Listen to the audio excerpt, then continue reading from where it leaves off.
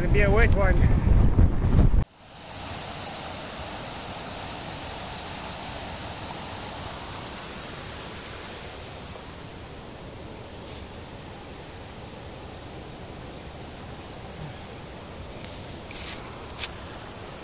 Hey, good morning, everybody.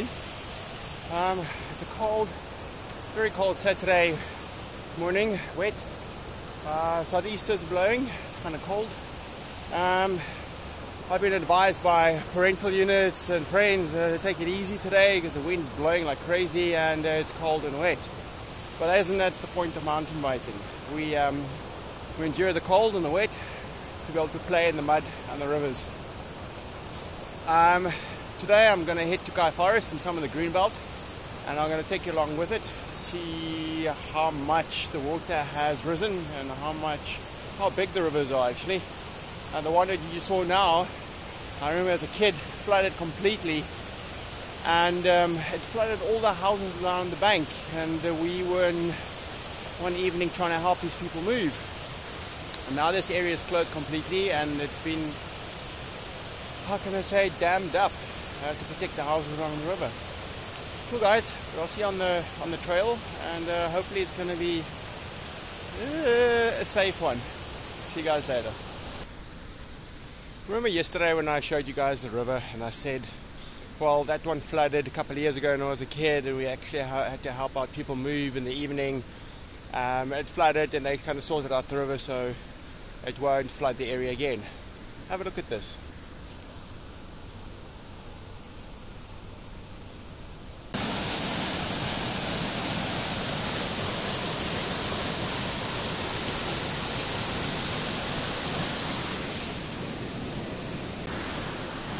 That's just from one night with rain that happened last night. Well, actually, what I cycled through most of yesterday and then last night. It's insane how much water is going to come from the mountain and go straight into the, the ocean.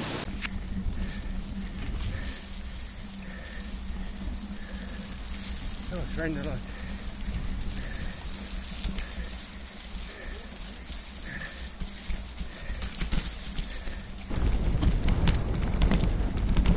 I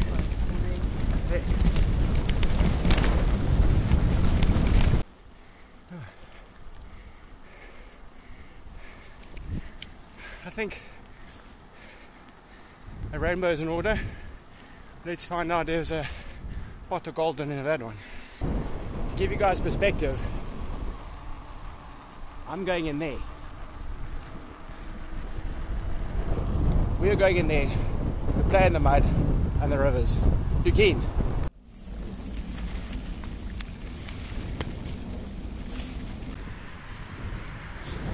I think the trick to stay out of the elements is to stay in the shade of the trees, stay protected, no cover. The wind's not going to blast you so much, and you won't get that wet. But like this,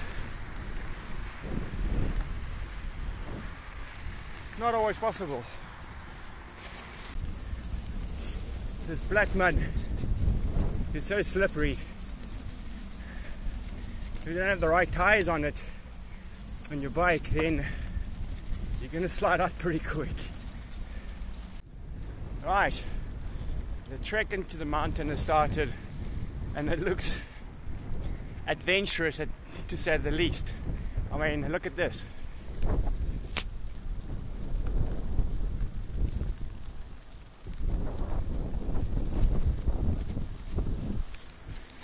It's going to be so much fun when we're wet. I'm going to try to stay out the wind because some areas are really exposed. Hey guys, all I can say is I've just started my ascent and um, it's nasty. It's cold, it's very windy, the rain's coming down pretty quick. I think it's below 10 degrees already.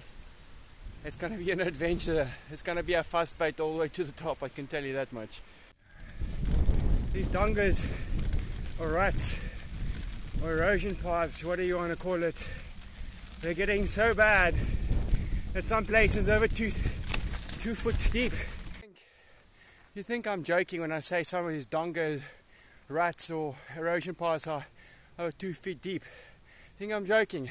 Have a look at this.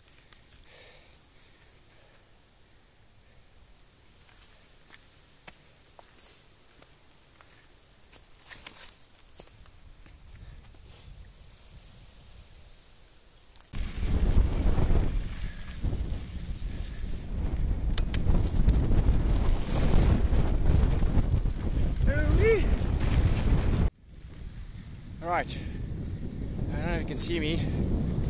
I'm almost, I think, halfway up to the river, the waterfall.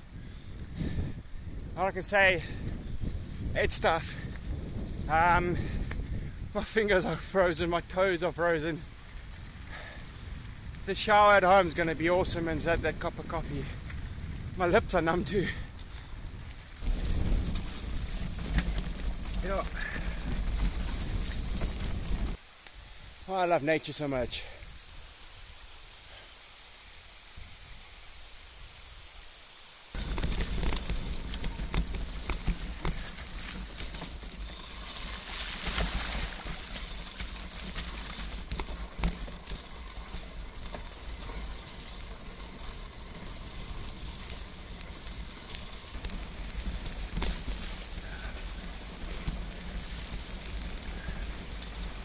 Twenty meters, you have reached your destination.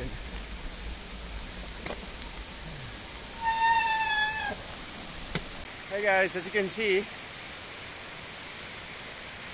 I've gotten where I wanted to be. My favorite place.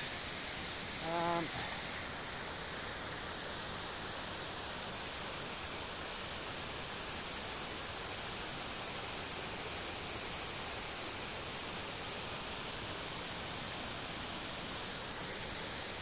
all that effort was worth it, definitely. It's raining straight now, it's not so much wind, but I'm still very, very cold. I think the adventure's going to start when I go down. I don't know if I'm to try any of the single tracks because they're going to be muddy and slippery. With views like this, mountain biking is well worth the sport. I mean, I'm sorry, look at this.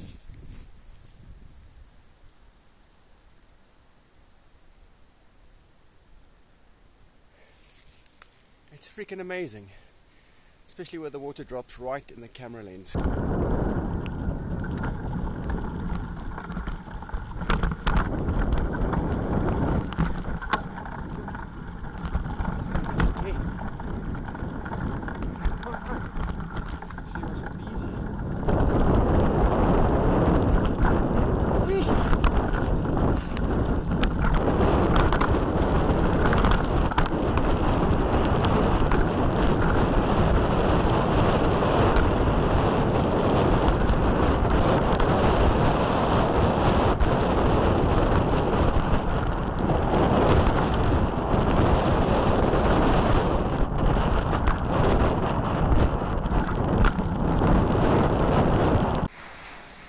So, finally made it home after I think four and a half, five hours in the saddle. Um, it's cold, wet, I can't feel my toes, my hands are dead. The only thing left to do is this.